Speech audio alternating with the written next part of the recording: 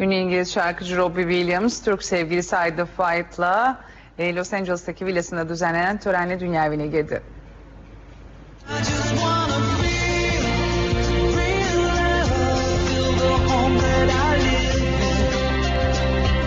Dünyaca ünlü İngiliz şarkıcı Robbie Williams artık bir Türk kızıyla evli.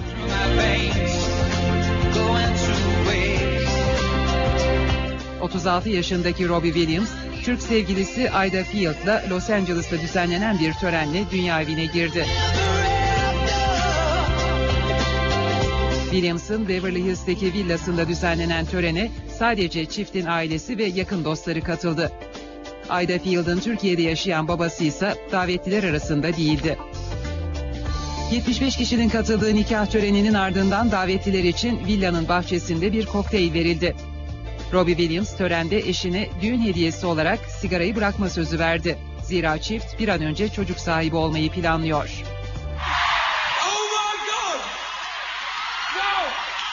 Robbie Williams'ın babası bir İngiliz gazetesine yaptığı açıklamada Rob sonunda mutluluğa kavuştu. Ayda çok güzel ve sevimli. Birbirlerine çok yakışıyorlar dedi. Babası Türk olan 31 yaşındaki Ayda Amerika Birleşik Devletleri'nde televizyon dizilerinde rol alıyor. Uluslararası ilişkiler ve ekonomi eğitimi gören Ayda, Türkçe ve İngilizcenin yanı sıra Fransızca ve İtalyancayı da ana dili gibi konuşuyor.